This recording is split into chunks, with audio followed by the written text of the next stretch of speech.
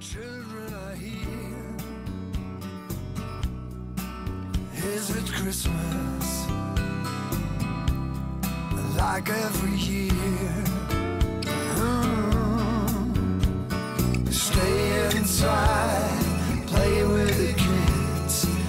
Think about whose birthday it is. It's Christmas.